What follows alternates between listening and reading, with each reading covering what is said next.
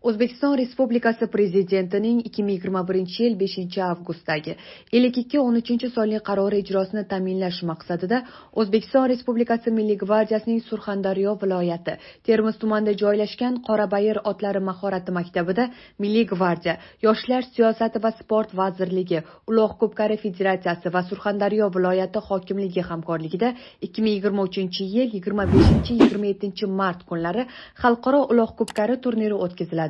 Turnir oldidan surxondaryo viloyati matbuot uyida matbuot anjumani o'tkazildi. Unda milliy gvardiya viloyat yoshlar siyosati va sport boshqarmasi uloq ko'pkari federatsiyasi va qoraqalpog'iston respublikasi viloyatlardagi chavandozlar maktablari direktorlari ommaviy axborot vositalari ijodkorlari ishtirok etishdi. Tashkilotchilar xalqaro uloq ko'pkari turnirida qozog'iston qirg'iziston tojikiston o'zbekiston davlatlaridan jami oltita jamoa chavandozlari o'rtasida bo'lib o'tishi aytib o'tildi.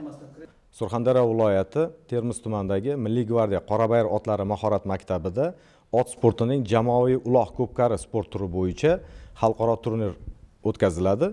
Bu joriy yilning yigirma oltinchi va yigirma yettinchi kunlari aynan musobaqalar bevosita bo'lib o'tadi. Jamoaviy uloq ko'pkari bo'yicha xalqaro turnirda yetmish ikki nafar mahalliy hamda xalqaro chavandozlarimiz ishtirok etishadi.